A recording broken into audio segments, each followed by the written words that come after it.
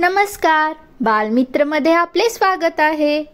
आज आपण सावित्रीबाई फुले जयंतीनिमित्त धडाकेबाज असे मराठी भाषण बघणार आहोत. तर चला मग सुरुवात करूयात. आदरणीय व्यासपीठ प्रिय गुरुजन वर्ग आणि माझ्या बालमित्र मैत्रिणींनो सर्वांना माझा नमस्कार. माझे नाव रोहिणी पोद्दार आहे आणि मी इयत्ता सातवीमध्ये शिकते.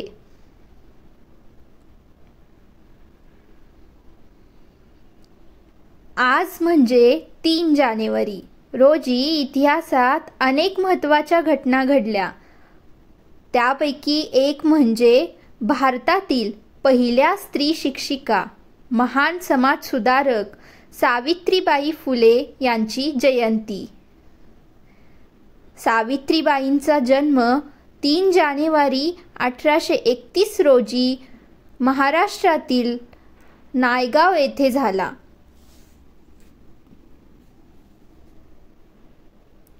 सावित्रीबाई फुले या देशातील पहिल्या महिला शिक्षिका मानल्या जातात.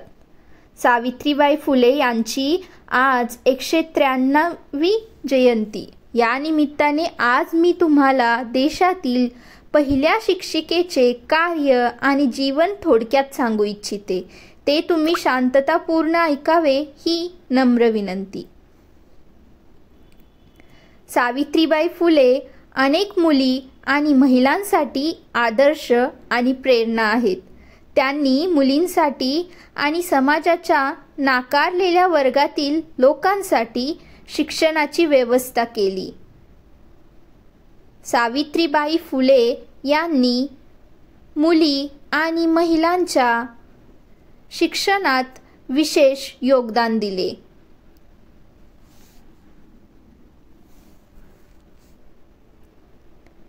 सावित्रीबाई फुले यांनी समाजसुधारक ज्योतिराव फुले यांच्यासोबत महिलांच्या शिक्षणासाठी लढा दिला.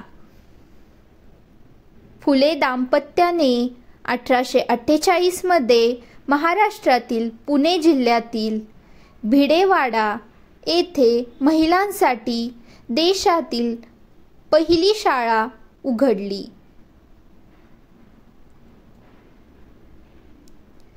देशातील पहिली मुलींची शाळा उघडल्यानंतर सुमारे चार वर्षांनी सावित्रीबाई फुले यांनी अठराशे बावन्नमध्ये दलित मुलींसाठी स्वतंत्र शाळा उघडली.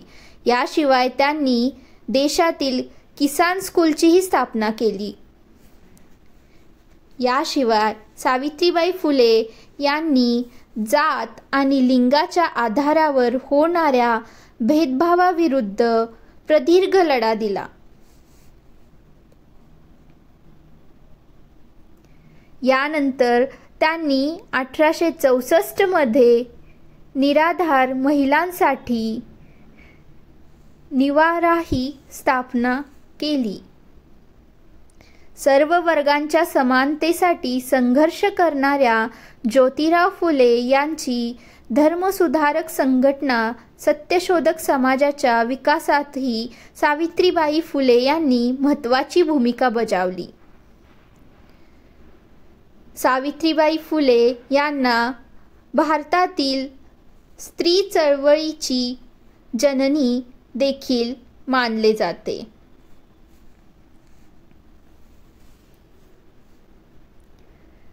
सावित्रीबाई फुले यांचा विवाह ज्योतिराव फुले यांच्याशी एकोणीसशे चाळीसमध्ये वयाच्या अवघ्या नवव्या वर्षी झाला. सावित्रीबाई फुले यांना वाचनाची खूप आवड होती. हे पाहून तिचे पती ज्योतिराव फुले यांनी तिला लिहायला आणि वाचायला शिकवले. त्यानंतर त्यांनी अहमदनगर आणि पुणे येथे शिक्षक होण्याचे प्रशिक्षणही घेतले. अठराशे सत्तेचाळीसमध्ये चौथी परीक्षा उत्तीर्ण होऊन त्या पात्र शिक्षिका बनल्या. तर मित्रमैत्रिणींनो असा होता सावित्रीबाईंचा जीवन प्रवास व कार्य जे नेहमीच आपल्या सर्वांसाठी प्रेरणादायी आहे. अशा या महान व्यक्तिमत्वाबद्दल मी एवढंच बोलू इच्छिते की स्त्रियांच्या शिक्षणाची. स्त्रियांच्या शिक्षणाची सावित्री तूच खरी कैवारी. तुझ्यामुळे शिकत आहे आज प्रत्येक नारी. तुझ्यामुळे शिकत आहे आज प्रत्येक नारी. सोसूनी अनंत यातना. सोसुनी अनंत यातना शिकवलेस तू स्त्रियांना. कृत्य कृत्य होतो आम्ही थोरवी तुझी गाताना थोरवी तुझी गाताना. एवढे बोलून मी माझे चार शब्द संपवते. जय हिंद जय महाराष्ट्र जय भारत. धन्यवाद.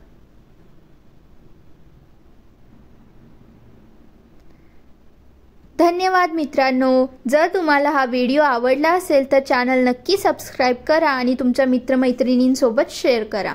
आपण पुन्हा भेटू अशाच नव्या व्हिडिओसोबत. तोपर्यंत धन्यवाद.